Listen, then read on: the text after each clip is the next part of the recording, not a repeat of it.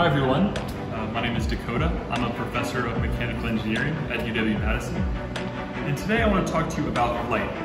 Uh, what is light and how does it work? Let's do a simple experiment to help us understand. Behind me you can see that I, I've set up this red laser so that it's shining into this tank of water. Now, we all know that light is the fastest thing in the universe. Nothing can travel faster than light. What's interesting though is that the light emitted from this laser actually slows down as it enters the water. How do we know this? Well, one way we can visualize this is through a phenomenon called refraction. To see this, we need to play around with the angle of the beam. So what I'm going to do now is I'm going to uh, tilt the angle of the laser module, like so. And what you'll notice is that light tends to travel in a straight line.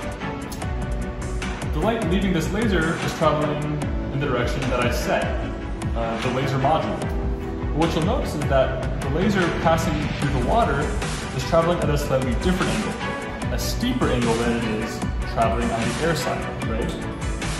And this difference in angle becomes more pronounced as I change degree of tilt. So essentially this makes it appear that the light is bending at the interface between the air and the water. This bending is the essence of refraction. And it turns out that the difference in angle between the light in the water and the light out of the water is directly related to how much the light slows down through the water. Now, this refraction effect is something we all encounter every day. It's the reason why rainbows exist. It's also the reason why uh, contact lenses and eyeglasses are useful for correcting our vision. So it turns out that not all of the light exiting this laser module can actually enter the water. Some of the light is actually reflected at the surface. And you can see that if you look at the laser spot on my hand. This spot is basically from the reflected portion of the beam. What's very interesting though is that there's actually a magic angle where I can make this laser spot disappear. So let me see if I can, lost it, here it is. So what I'm going to do is I'm going to uh, continue to increase the tilt angle of the laser module very slowly.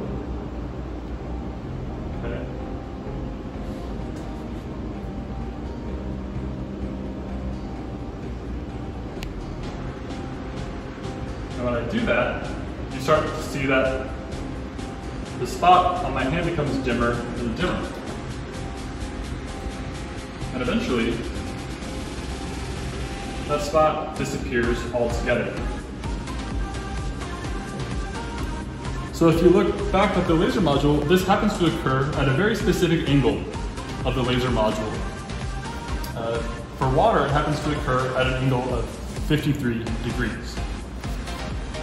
So this special magic angle is called Brewster's angle. It's the angle where uh, there's essentially no reflection of this laser at the surface, so all the light cannot enter the water. Now what happens if we increase the angle further than Brewster angle? If we increase the angle further, which I'm doing now, we see that the reflected beam comes back. Right? And it actually increases in intensity as I increase angle further and further. For very, very large tilt angles, the reflection of the beam uh, will be maximized. And so the surface of the water at that point will act almost like a perfect mirror. And essentially no light from the laser module will be able to enter the water. And this is actually at the heart of a lot of technologies that we use every day. So it's actually one of the principles behind uh, polarized sunglasses. Now lastly, I want to talk to you about a third phenomenon that gets to the nature of what light is. In addition to being a wave, light also has a polarization. What this means is that uh, there's a certain direction that the electric and magnetic fields are waving relative to the direction of the traveling light. In this example, uh, the electric field is waving in this direction. And the magnetic field is waving in and out like this. But we can actually play around with this polarization state by rotating this small component here. This is referred to as a polarizer.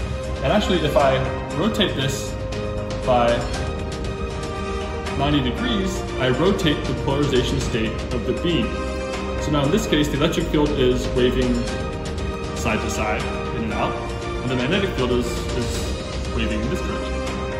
And actually this changes drastically uh, the reflection and transmission of this laser beam at, in, at the surface of the water. So to illustrate that best, let's go back to our Brewster angle. Here. So recall for the other polarization state, there was essentially no reflection at the surface of the water. But now when I hold up my hand, we see a strong reflected beam. So basically for this new polarization state, there is no Brewster angle. Essentially the reflection increases as you increase the tilt angle.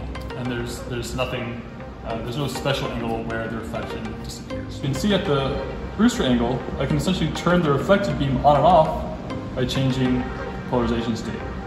Here it is when we have the most reflection, and here it is when we can turn the reflection completely off. And all I'm doing here is rotating the polarizer to change the polarization state.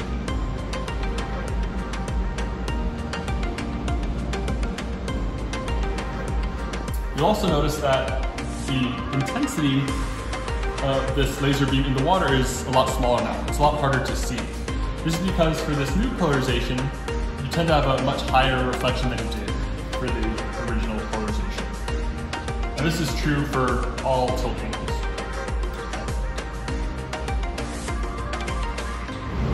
slowly. You see the difference?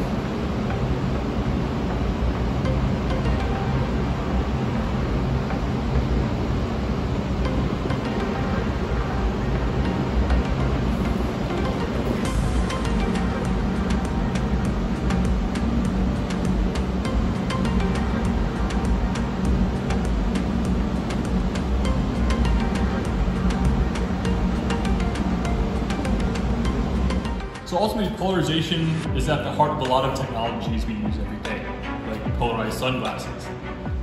This concept is also at the heart of some experimental techniques I use in my own research, specifically a technique called ellipsometry, which is an optical technique which allows me to determine the optical properties of certain materials. So let's recap what we learned today. One, light tends to slow down when it passes through matter. Secondly, light is a wave made up of uh, rapidly changing electric field and a rapidly changing magnetic field.